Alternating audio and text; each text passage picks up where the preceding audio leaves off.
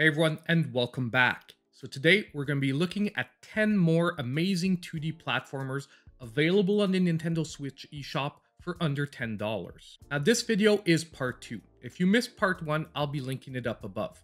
Part 1 was number 10 to number 1 of my top 2D platformers. Today we'll be looking at the rest of the list I made, which is number 20 to number 11.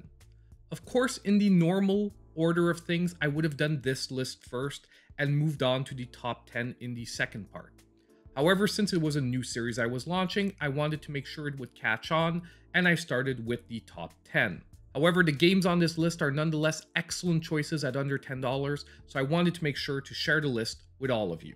Now, if this is your first time watching the series and you missed part 1, just to qualify what I consider as a game under $10 is that it has to be regularly listed at full price under $10. So I'm not taking into account any sales prices because I want these lists to be always available to everyone that anytime you open up the Switch eShop, you're guaranteed that these games will be under $10.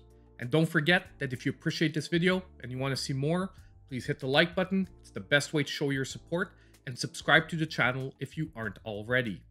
Now, starting at number 20, I placed Mice-topia. By the way, I will be including some Metroidvanias in this list, because at under $10 regular priced, there are so few Metroidvanias that I can't make a separate list. However, at higher price points, the Metroidvanias will be separate and have their own section. And Mice-topia at number 20 is the first game that falls sort of in that category.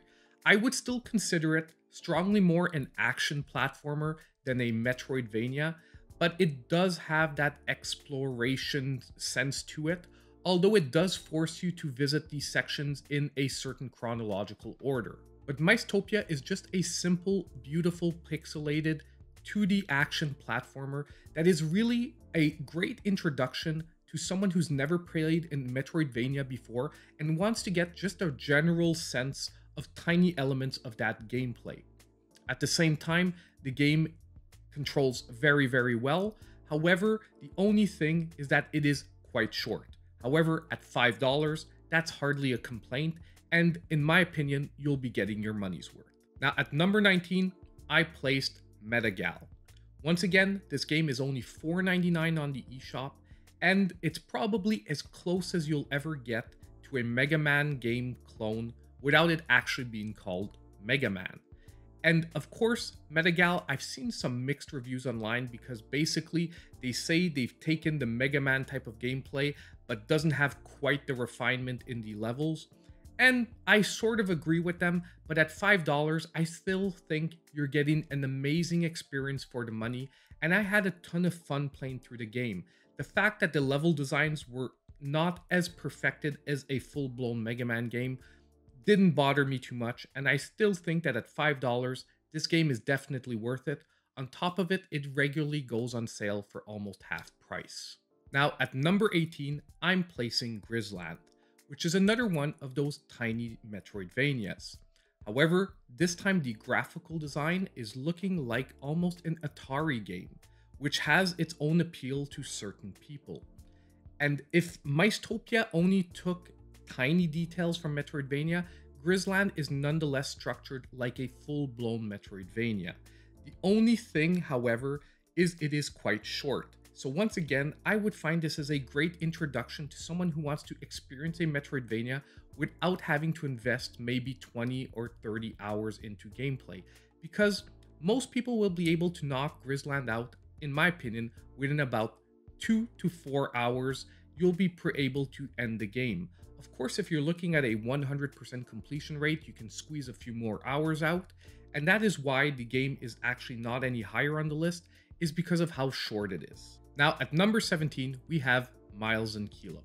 Now, this is an excellent old school 2D platformer at only $7.99 when it's at its full price. And this is probably, I would say the closest reference point I have to this is an old school Adventure Island. And Miles and Kilo is done with excellent quality and excellent fun. It is not too difficult, it's just a perfect medium point where someone who puts a little bit of time into the game will easily be able to progress from one stage to the other. The only negative point I maybe have about Miles and Kilo and why it didn't make the top 10 is because of its maybe lack of original concepts. It's such an old school platformer that it does what it does well, it just doesn't really bring anything new to the table. Now, at number 16, I placed Goblin Sword. Now, Goblin Sword is almost always on my lists. As soon as it's on sale, I mention it on my eShop deals videos. But even at full price at $4.99, Goblin Sword is still an awesome purchase. The game itself at its base isn't that long, but the original concept that they've thrown in has added a ton of replayability because as its name implies, the Goblin Sword you're using becomes an over important element in the game and depending on which sword you de decide to use in each level will change totally, totally your approach and what tactics you have to use. So that is actually why I love this game and why I'm really putting it on my list of top 20 2D platformers on the Nintendo Switch. Now, at number 15 on my list, I have Oniken. Oniken is another one of those games when it's on sale are always on my lists, but even at its full price of $9.99, you still get a really decent package. Oniken is one of those traditional 80s action platformers. I mean, it resembles parts of Ninja Gaiden, other parts of Strider, but Oniken overall just has a ton of varied gameplay, where it be escape stages riding a hover bike, or whether it be standard platforming adventuring stages, Oniken has a little bit of everything that was great in 8-bit platformers. So if you want a well-rounded experience, Oniken is one of your best stops on the Nintendo Switch eShop.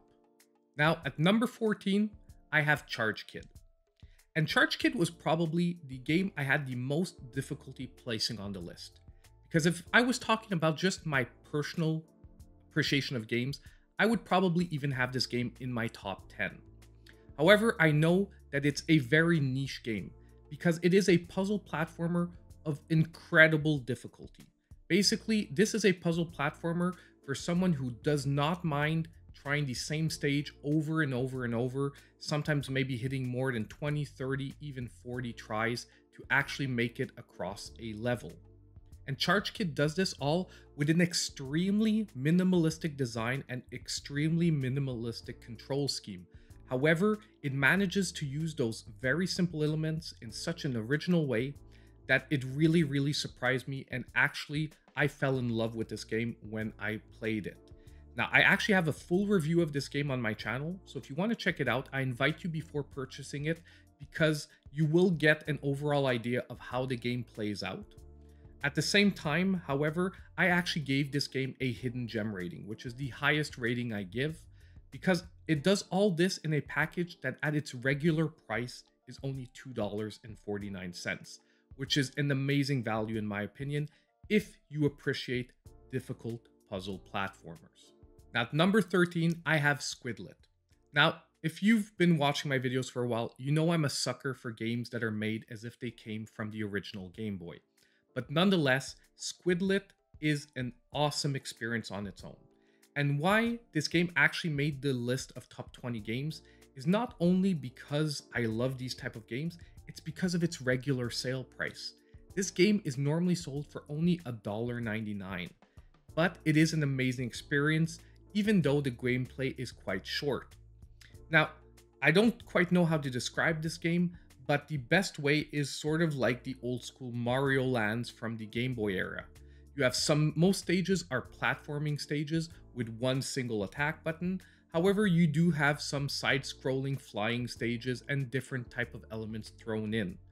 But basically, if you like retro old school platformers, Squidlet for only $1.99 is definitely a game you should instantly pick. Now at number 12, I placed Xeodrifter.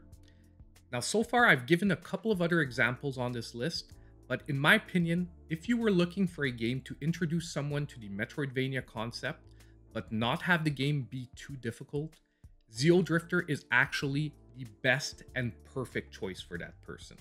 And at only $9.99, you still get a well-rounded, completed Metroidvania package.